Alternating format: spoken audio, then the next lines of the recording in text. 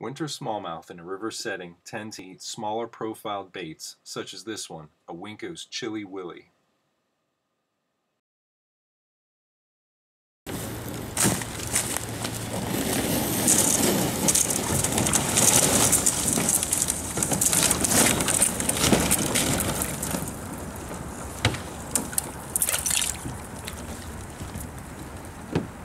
Today I'm going to give these uh, paddle tails a shot. This is one I poured with a, a Do-It mold called a worm nose jig. The reason I chose this one is for how it orients the bait. I poured the soft plastics paddle tail grubs with a really soft, soft pour. And what that does is it really gives the, the bait some buoyancy. So that should lift up like that. And that style jig head really lends itself to that presentation. With the jig head down and the tail and the hook up.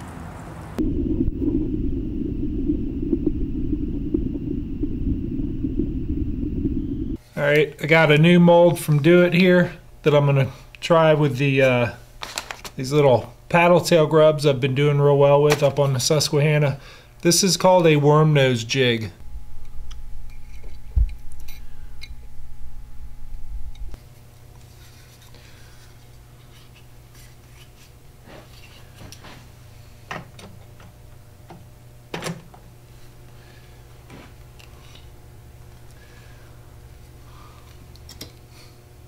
All right, now that we have the jig heads all done, we're gonna powder paint them.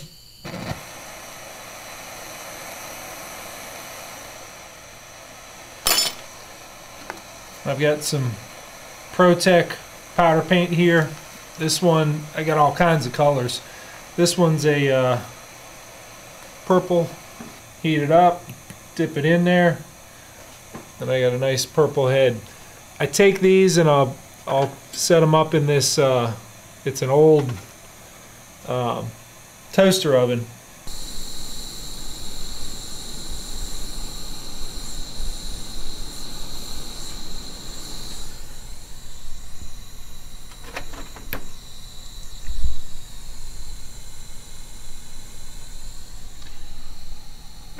That I just put them on the rack and that helps cure them. You know, I'll cook those for you know, I'll just turn it all the way um, to broil and let those suckers cure.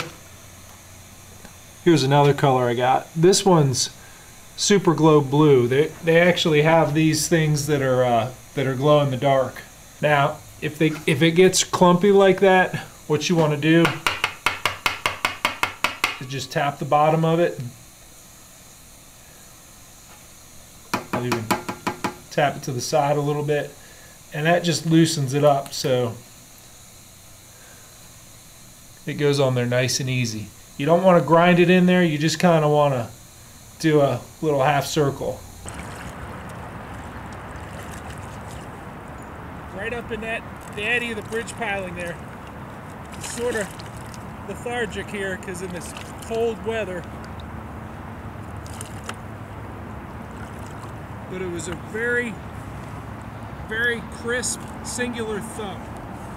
My rod of choice for this presentation of the, the paddle tail is a St. Croix Legend Tournament slip stick.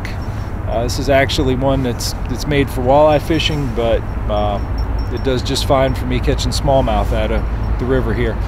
It's an 8 foot medium light power, fast action uh, a lot of guys would kind of scratch their head why I would need an eight foot rod. And um, I think it's, you know, I, I, found myself feeling more comfortable with longer and longer rods. And I think the reason for that, for this presentation specifically, is that you need a longer rod to, to get the elevation to get unsnagged.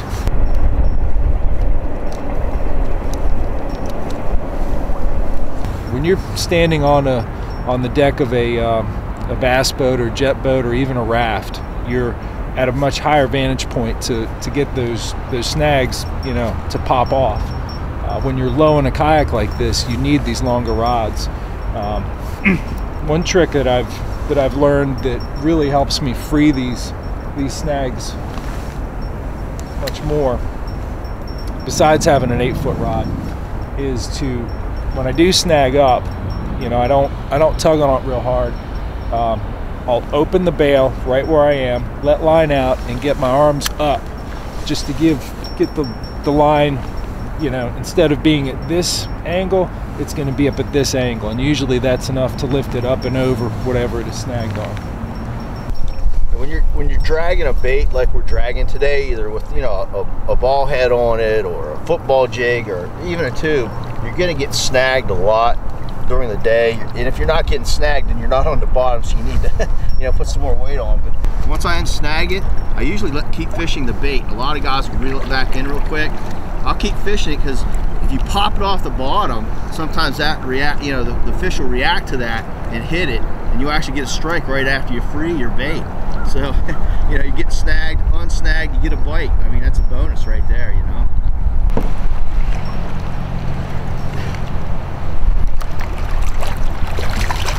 he is nice. He is. He's a fat one. Whew. He just engulfed it. Just engulfed it. It's another one. Again, cold day, 43 degrees, nice slow presentations, picking up fish, picking them up slowly but surely. This one, I, I didn't even feel him. He was, the other fish I've been feeling had tapped the bait. I felt a tap. This one, actually, I just just basically felt weight on the end, just like mushy leaves, just weight on the end of my line, and he was there. Nice big one. Even with a longer rod like this, to get to get all these uh, the paddle tails unstuck from the bottom, uh, you do go through them.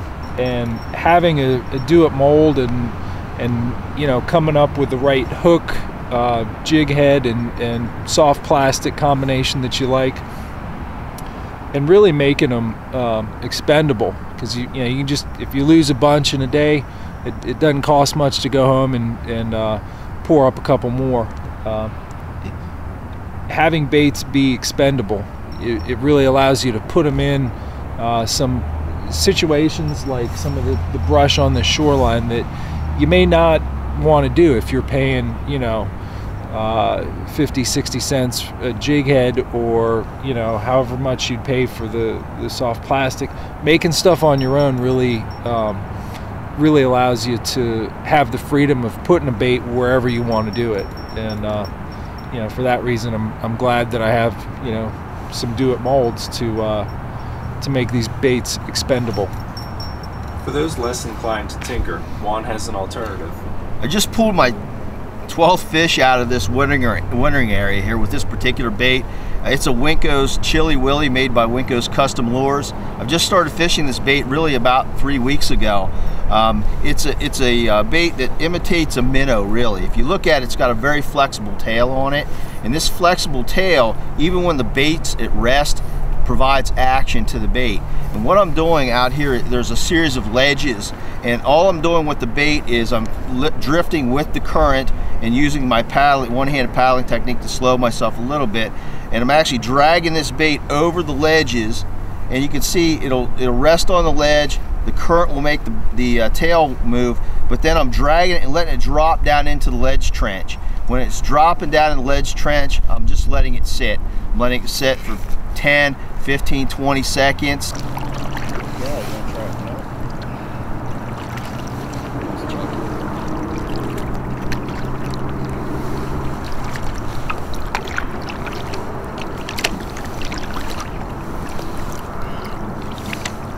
Look how yellow this fish are for being so cold. Wow.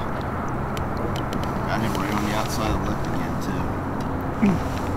that kind of, it's telling of how how short they're hitting it. I don't yeah. think they open their mouths all the way, and that's why you need a bait that's that small. Yeah, it's compact. They're just they're just mouthing the bait almost. They're not, you know, they're not sucking it in. Yeah, they're just mouthing the bait. Nice. Uh, I'd like to thank Do It Molds for sponsoring this video. My new DVD, River Kayak Fishing Skills, will be available February of 2011 at the kayakbassfishing.com store. This first DVD will be followed up by four seasonal patterns DVDs for river smallmouth, including material similar to what you just viewed. Stay tuned to the Kayak Bass Fishing channel for more previews.